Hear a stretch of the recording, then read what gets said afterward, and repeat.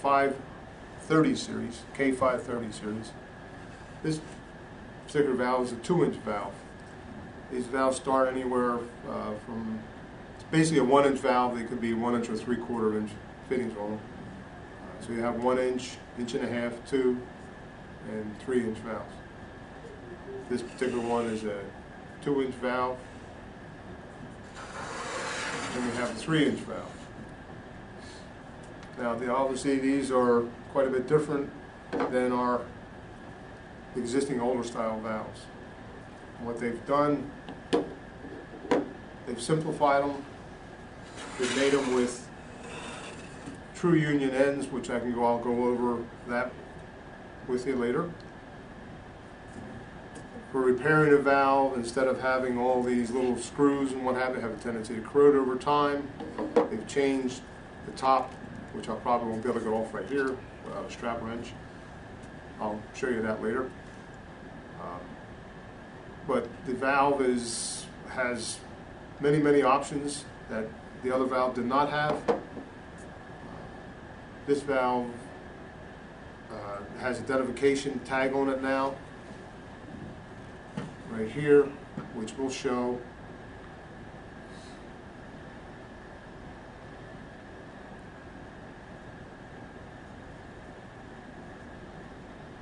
we have identification valve, uh, tag on here, that gives the complete part number of the valve.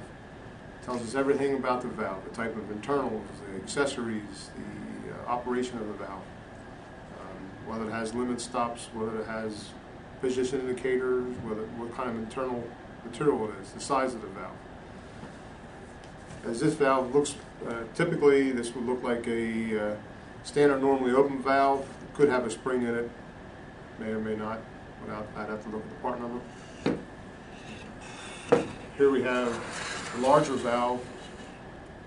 Now this valve didn't come with a tag on, it. it's an older valve, it's a used valve, but this has a position indicator and limit stop. So you can limit the- how far the valve opens up, and it also lets you know whether the valve's open or closed. Again, uh, newer valves would have identification on it that would let, let us know if, if it has this feature or not. If, it, if it's spring-loaded open, spring-loaded closed, it could be fail-safe valves, there's, there's any number of uh, options available. Okay, here we have the cutaway of the K530 series valve. Notice the different internals.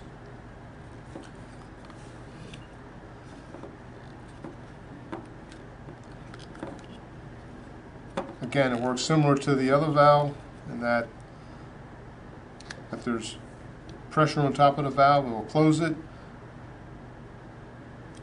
If you relieve the pressure, line pressure will open the valve. Or again, you you have an option that you can put uh, you can uh, open it and close it. You can control it both ways. If there's uh, insufficient line pressure, you may want to do it that way. The valve has an option of spring assist open in here. You can put a spring on top. It can be spring assist closed.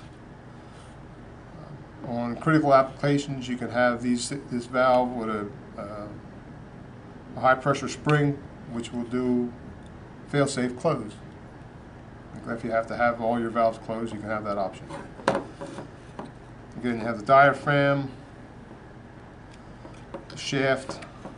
On this valve, this is uh, constructed slightly different. It's not a threaded-in seat retainer.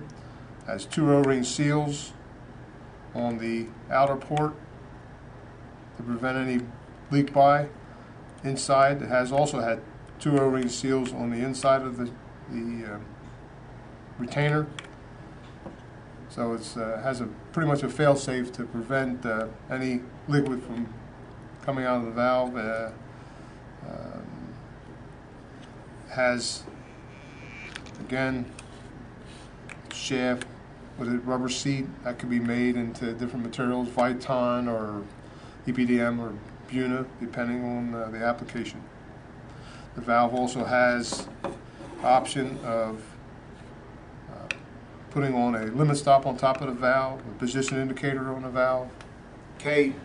530 series, those are made one way, true union end.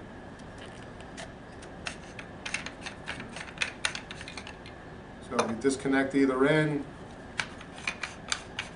this valve will come right out of the line and slide out of the, right out of the line. It's an O-ring seal on each side. So this valve will slide out, similar to a ball valve, true union type ball valve. So if you ever had a problem with the valve, that was cracked or whatever, you want to replace the valve, uh, you didn't have time to repair it, you can just pop it, you can buy a replacement valve like this, just pop it in line, put your nuts on, and away you go.